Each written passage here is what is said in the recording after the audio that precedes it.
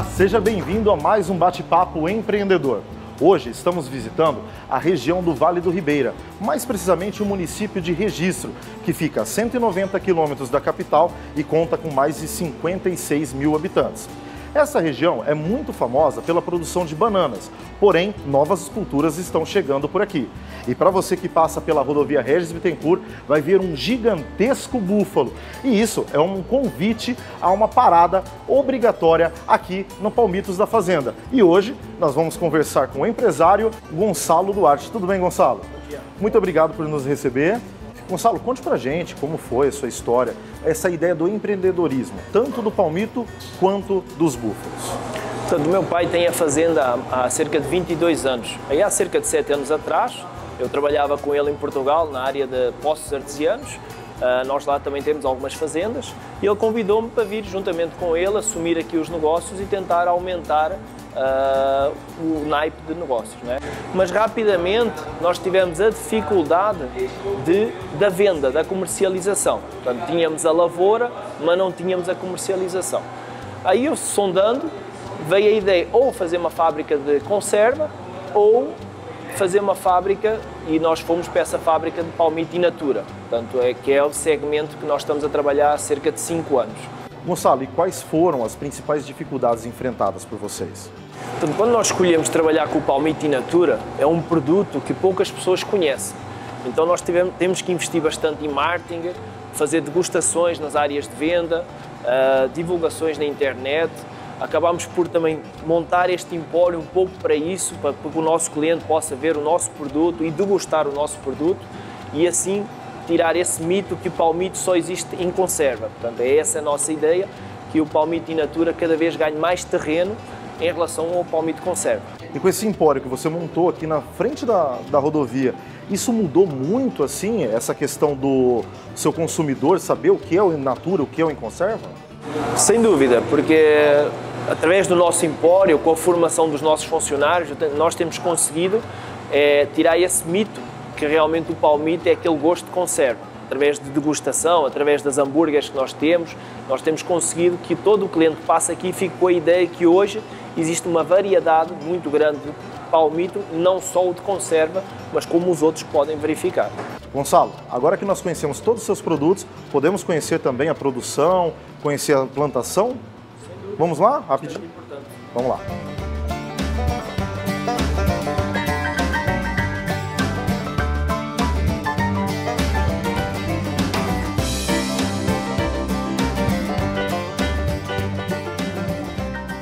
Gonçalo, agora nós chegamos aqui na lavoura. Uhum. E como que é a parte toda do manejo do palmito pupunha? O palmito pupunha ele é uma árvore que é plantada né, é, e que normalmente demora cerca de dois anos para fazer o primeiro corte. Né? Uma toceira como esta aqui é uma toceira que tem mais ou menos cinco anos. Então o palmito, a grande vantagem do palmito é que você vai cortando, conforme você vai cortando, vai brotando novos perfilhos, que a gente chama, né? Então o manejo basicamente é o quê? Manter a, a lavoura limpa, né? De, de, de, praga, adubar, calcarear, por acaso aqui a terra está calcareada, e fazer um manejo correto do corte. Qual é o manejo correto do corte? É saber quando é que realmente a árvore está no ponto certo para corte, para dar uma maior produtividade. E todo o corte é feito manual? Todo o corte é, é uma das dificuldades que nós temos no manejo do, do palmito, é que é muito manual, não tem como entrar com tratores, não tem como mecanizar nada, é tudo manual. Tudo manual. Desde o corte ou descasque lá na fábrica, é tudo manual. Você tem qual é a área total de, da plantação da lavoura do palmito? Hoje estamos com cerca de 100 hectares, nós temos 200 mil pés em produção. Gonçalo, e pensando em diversificar a sua área de atuação, seu trabalho, você está pensando e tá, está trabalhando para um programa de turismo rural, é isso? O Sebrae está te ajudando nessa parte, é isso? Sim, sem dúvida. O Sebrae tem-me ajudado bastante. Nós temos, em termos de localização, a fazenda está muito bem localizada, porque ela tem cerca de um quilómetro de frente com a BR. Então nós montámos um ponto onde a gente consegue vender os nossos produtos e dar a degustar todos os nossos produtos aos nossos clientes. E é o facto de trazer esses clientes para, para conhecer os produtos, queremos também trazer para dentro da fazenda, para conhecer como é que é a, a lavoura, para conhecer como é que se tira leite dos búfalos, porque nós estamos entre duas grandes capitais. Esse é o foco, tanto nós como o Sebrae, a trazer é, estas duas capitais aqui no Val do Ribeiro e entenderem todo este processo de produção. Você falou que preserva mais de 45% da Mata Atlântica, né? Da, dessa região, né? Sem dúvida, hoje por lei eh, a, a, grande propriedade tem que ter no mínimo 20%, nós temos cerca de 45% de, de, de, de, reserva, vamos falar assim. Então nós estamos bem acima do valor de lei. Né? Você é, conversou conosco e passou que essa todo, todo o palmito que vocês produzem aqui também é destinado para o, o caso dos búfalos, né? E como funciona isso? Vocês tiram daqui e levam para os búfalos? É, o que, é que acontece? Nós estamos dentro da fazenda, é transportado através de tratores até à fábrica. Na fábrica é descascado o palmito e é triturado num picador que vai para dentro de uma carreta, é juntado um sal mineral e é jogado no, nos búfalos. Portanto, nós, as folhas ficam na lavoura, o restante da casca, toda ela é triturada e é canalizada para a alimentação dos búfalos. Então a gente aproveita 100% do palmito. Gonçalo, já que você falou dos búfalos, acho que seria interessante nós conhecermos a fábrica e onde os búfalos ficam. Pode ser? Vamos lá. Vamos lá? Sem dúvida. Vamos lá.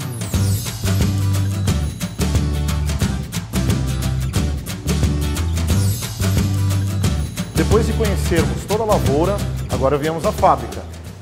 Gonçalo, qual é a quantidade de produtos que você trabalha hoje aqui na fábrica? Nós trabalhamos com bandejas né? e produzimos mais ou menos 2 mil bandejas por dia. 2 mil bandejas por dia. por dia. E aqui é a parte de natura, né? É todos os produtos que são embalados no momento, são colhidos, embalados e já vende, né? Exatamente. A logística aqui tem que ser muito rápida, porque estamos a falar de produto com validade de máximo 20 dias, então nós temos que ser colher, descascar e já embalar para amanhã entregar no cliente. Gonçalo, você falando dos seus produtos, qual o diferencial da Palmitos do, da Fazenda? Nosso diferencial é a estrutura que nós temos, não é? todo o know-how que temos, juntamente com a estrutura que proporciona uma maior qualidade ao produto. Nós somos o único hambúrguer de palmito no, no Brasil, temos selo vegano, inclusive, uh, e isso foi uma necessidade que todos, todos nós encontramos, que é inovar. Não é? Hoje o cliente é cada vez mais exigente e procura novos produtos. Então, os nossos clientes estão sempre pedindo outro tipo de produto. Daí é que apareceu o hambúrguer. Legal. Vamos conhecer um pouco do hambúrguer, da, dos produtos que você tem? Vamos lá. Além disso, vamos degustar um pouquinho. Né? Ah, melhor ainda. Vamos lá?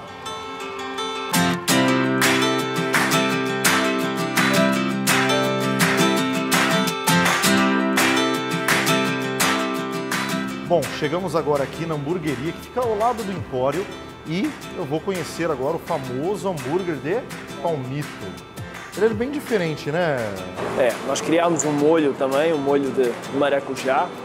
Ele é acompanhado com esparguete de palmito também. E a diferença, assim, para a pessoa que é vegana, ela tem aqui um hambúrguer, que aí está a caixa, né? Do hambúrguer de palmito, a pessoa encontra aqui para comprar mas também tem o hambúrguer normal, o hambúrguer de carne de búfalo.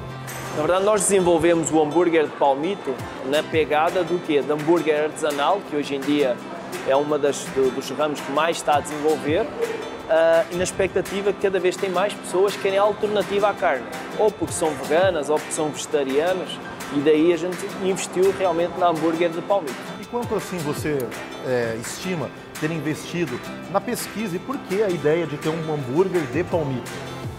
É, nós investimos no hambúrguer palmito por isso mesmo, pela essa necessidade que hoje as pessoas procuram produtos veganos, produtos fora a carne. Né?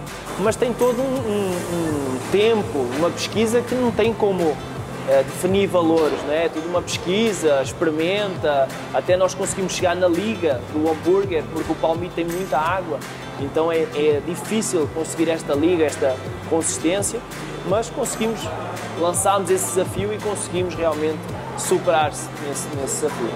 Gonçalo, você acha, você como empreendedor, você acha importante o empresário sempre buscar uma alternativa? É bem nova aquilo que ele trabalha?